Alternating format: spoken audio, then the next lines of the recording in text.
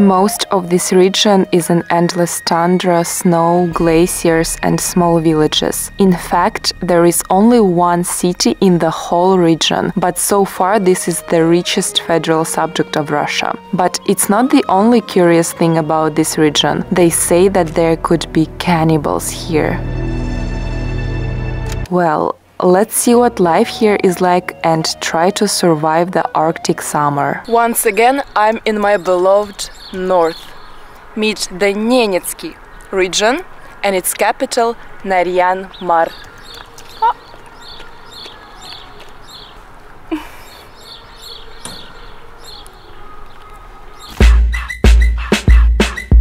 Это Нарянмар, это это Нарянмар. Это Нарянмар, это это Нарянмар. Наш вид спорта – оленей бег. Тут даже летом идет снег.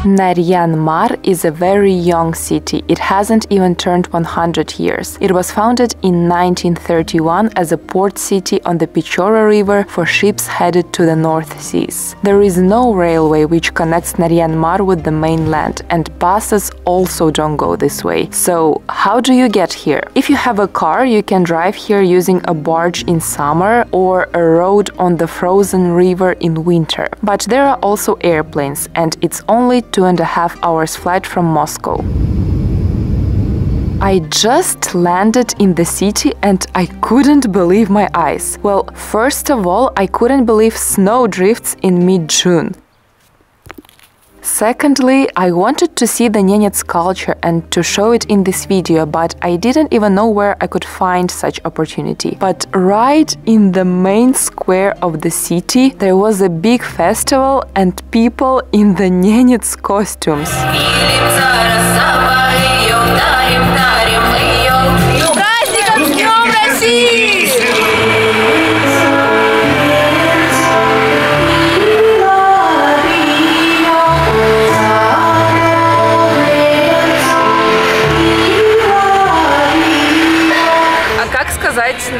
Ненецком привет?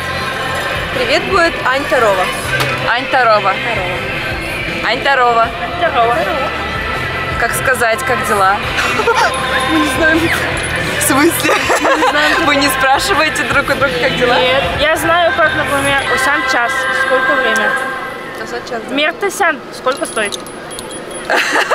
Только практичный словарь. Ты говоришь на ненецком? Э, нет, только если песни пою.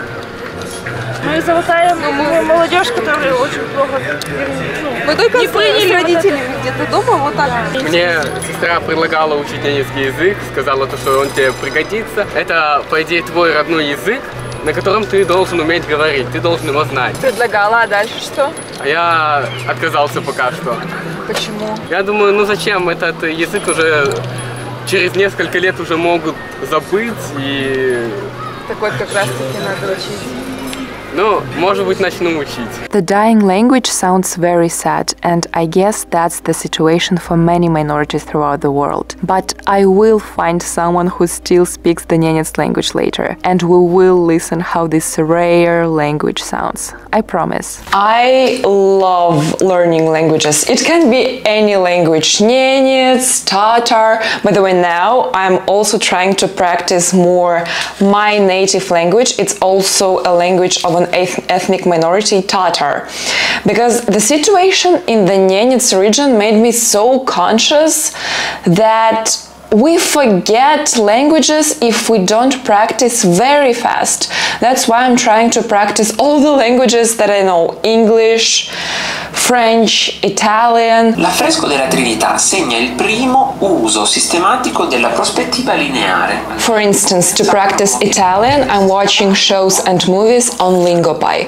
Currently, I'm watching Art Esplorando. Lingopie is an innovative language learning platform that allows to learn a language by watching films films and series. It offers international content in eight languages. While you watch a show, you see scripts of the videos. You can click on the words and get their instant translation and add words to your personalized vocabulary. Then you can review these words through flashcards and take interactive quizzes to reinforce learning.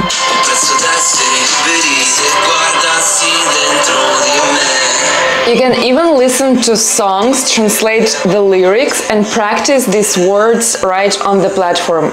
Isn't it cool? To start your language journey, click the link in the description to get 55% discount and 7 days free trial for Lingopie. And also let me know in the comments what language you're currently learning and do try Lingopie and let me know about your experience with the platform and share your favorite shows in your target language.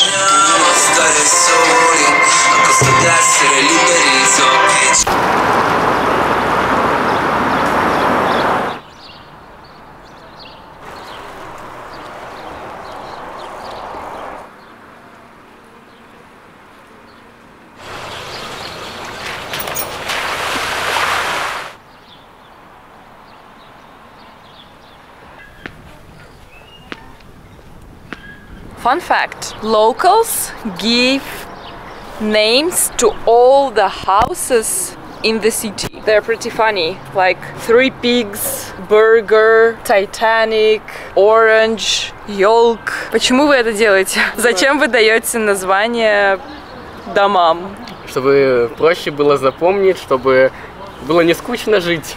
То есть обычно вы используете не улицы, там, давай встретимся на улице номер такой-то, а там, давай встретимся в желтке. Да, так Или есть. в долларе. Да. Почему доллар? Доллар, э, потому что во времена Второй мировой войны американцы завозили в Наринмар свои самолеты. У них была такая традиция, скажем, закладывать на счастье однодолларовую купюру. И когда наш летчик э, пролетал над Наринмаром, э, он увидел эту вот купюру, и эта купюра упала под ноги э, рабочим, когда они начали строить дом, и вот от этого и пошло название доллара. Чем вам больше всего нравится жизнь в Нарьянмаре? спокойствие и люди. Город маленький, тут уютно. Все друг друга знают, Если вам нужна помощь, ты одного человека попросил, он сразу же на нескольких напрек и уже познакомились. Если Да. что, ты сразу же к ним можешь обратиться за помощью. Тут можно уехать за город, отдохнуть от всех проблем, без телефонов. В тундру на рыбалочку, поплавать там. Когда хотели объединить Архангельскую область и Ненецкий округ, то здесь жители, они восстали против, да, восстали. Ходили, с- ну, на машинах висели таблички, ходили с табличками, все были против. So we're looking at the menu and they have different uh, rolls and sushi and there is a roll for 1 million rubles. Эксклюзивный драгоценный ролл по фирменному рецепту. Впервые золото окажется в тебе.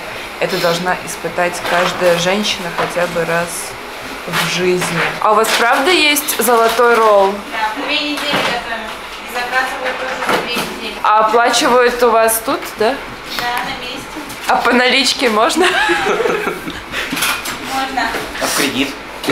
Я у вас даже не могу себе позволить ролл. У вас самый богатый регион, вы тут вообще зажрались. У вас золото в роллах. I couldn't afford the golden roll, but thank God I'm an influencer and I was invited for dinner by the best restaurant in the city. Any Arctic cuisine starts with stroganina, frozen meat, and frozen reindeer meat as well. This one is salmon, and usually when you eat stroganina, you dip it in salt and spices and just eat it like this. I just love fish. I'm a fan of fish, and frozen salmon is amazing. It is so fresh. Just wow. And this fish, nelma. Let's try. So good. You need to eat it while it's frozen. I've been to the Arctic many times, and stroganina is like their vital food, and especially when it's super cold in winter. This is a very fast source of energy and calories. And they say that frozen meat like this gives you a better nutrition and calories to stay warm during cold weather.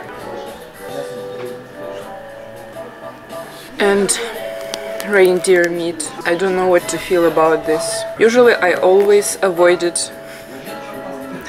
eating reindeer, but now I need to try because this dish is already here and if I don't eat it, it will be just wasted. Poor reindeer.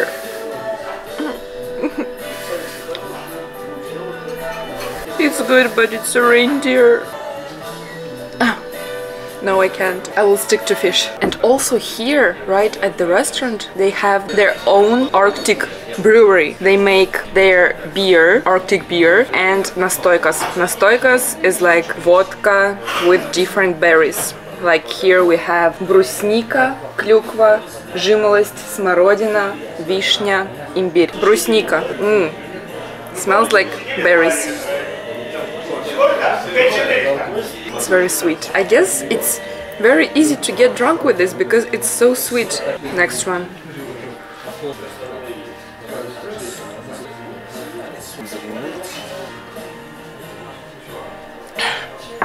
It's a lot of nastoikas and I have so much beer here. It's crazy and I don't even drink beer. Okay, I will try this one for example. Well, I'm not a beer connoisseur, so I can't say if it's good or not. It's just a beer for me.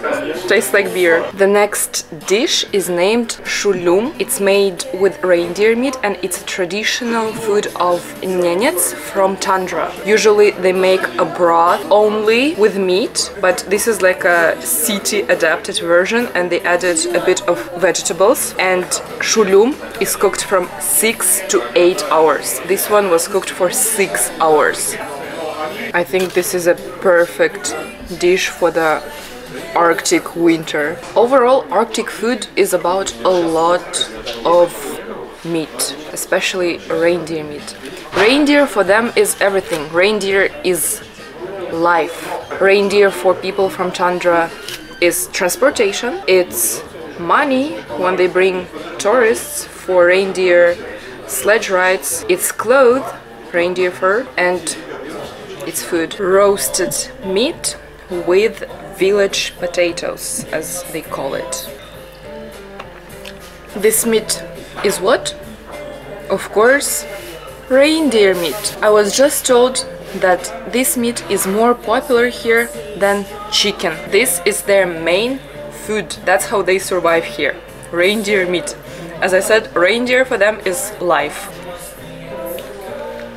Actually, it's very soft and I do love it. It's much better than the frozen one, but still I can't get used to the fact that it's a reindeer. For people who live here, it's absolutely normal and usual.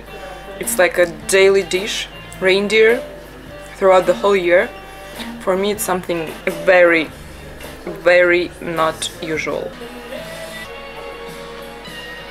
It was super good and I guess it's so perfect in cold winter and you get all this comfort food with these potatoes and meat and stroganina and it should warm you up so much in winter. If you watch my channel for a while, then you know that I have a tradition to leave Russian matryoshka dolls in places that I visit. There is a note from me and 500 rubles inside the doll. In Naryan Mar, I gave it to the restaurant Timan that saved me from hunger. It's a restaurant museum where you can learn more about the northern culture and try its taste. The first person to visit the restaurant and to claim my doll will get it.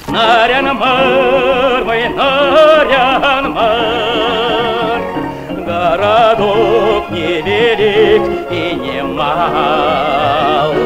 Do you know why in the north people tend to build very colorful buildings and entertain themselves by giving names to these buildings? That is to avoid gray color and depression, especially when summer is over. I understand them in some point, but for me the north is never oppressive or boring. It's all about eternal exploration and journey. And to learn more about the Nenets culture, I arrived at the local handcraft center.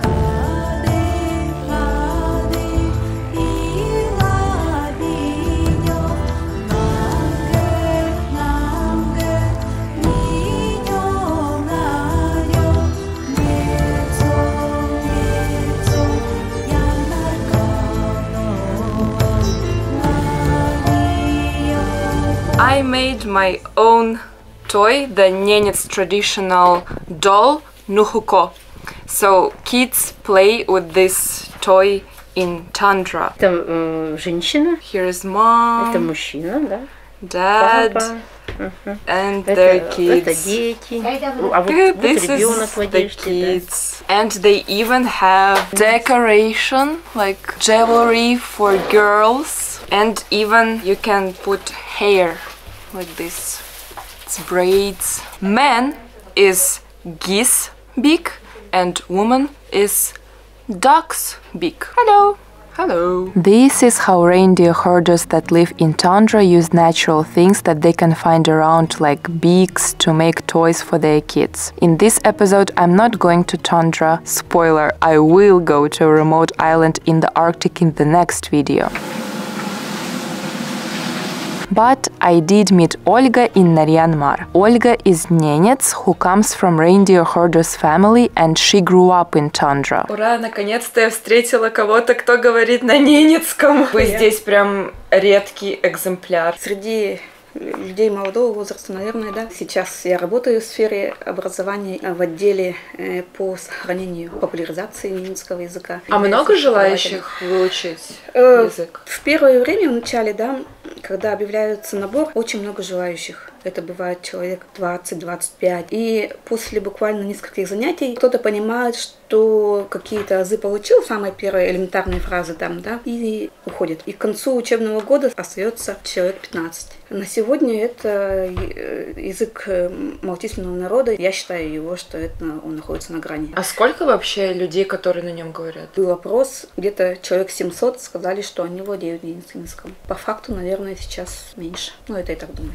А какая мотивация обычно у людей выучить этот язык? Вымирающий, который ты не так много с кем вообще можешь использовать. Люди в определенном возрасте, да, приходят, э, осознают, что они э, немцы, как это так, они не знают своего языка. Многие себя ругают за то, что в свое время, когда они учились в школе, да, они относились к урокам немецкого языка пренебрежительно. И вот э, лет там 40 они пришли к тому, что я хочу знать язык, и вот поэтому они вот начинают хотя бы какие-то элементарные фразы, чтобы где-то можно было хоть как-то поддержать разговор, например, с своими э, старшими родственниками. Вы И в тундре. где можете поговорить на ненецком и как часто вы на нем говорите? Я из традиционной ненецкой семьи, у меня все предки оленеводы, да. Я сама родилась в тундре, выросла, и поэтому я речь использую в общении с своими родственниками. То есть Они с все семьей высокие. всегда на ненецком говорите? Ну, не всегда, но у нас бывает а, смешанная речь какая-то. Что-то мы сказали на русском, что-то мы сказали на ненецком. Если мы сидим в кругу семьи, среди детей, да, и хотим что-то сказать э, секретное детей, то, естественно, мы говорим на ненецком языке. И это какой-то такой некий стимул для наших детей изучить язык, чтобы понимать, а, а что они сказали. Наверное, большинство людей, да, они говорят, я понимаю, но я не могу говорить. К сожалению, вот такая вот тенденция. Все свое младенчество я была в окружении тундры, потом это школа. Во время школы мы ездили на каникулы постоянно. А у вас был шок, когда вы в первый раз приехали в город из тундры? Но в первый раз я приехала в город, мне было, наверное, лет 10, и первое, что меня поразило, не наличие автобусов э, и машин, потому что я знала, что они есть. Меня поразили деревья. Первое, что я сказала, потому что на Колгуде у нас деревьев нет, у нас есть только кустарники, которые дорастают, ну, может быть, э, метра полтора, да. Первое, что я сказала маме, что мама, смотри, какие здесь высокие кусты. Ну, а так, в принципе, я была готова к жизни э, в городе, да, потому что мы это все читали в школе, да, нас э, готовили, потому что у нас в Бугрину, там только школа до четвертого класса. С пятого и дальше нас два раза в год, в год вывозят в Нирнмар.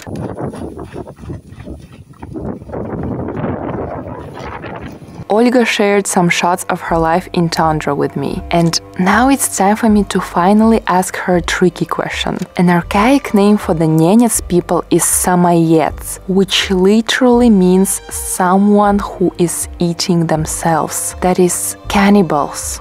Это вообще правда или? Нет, нет, на самом деле э, скорее всего, кто-то увидел, что оленеводы едят сырое мясо. Ну и, скажем так, да, не вниклись, что за мясо, да, э, мы едим э, сырое оленье мясо. Считается, что Ненецкий округ — это самый богатый регион в России.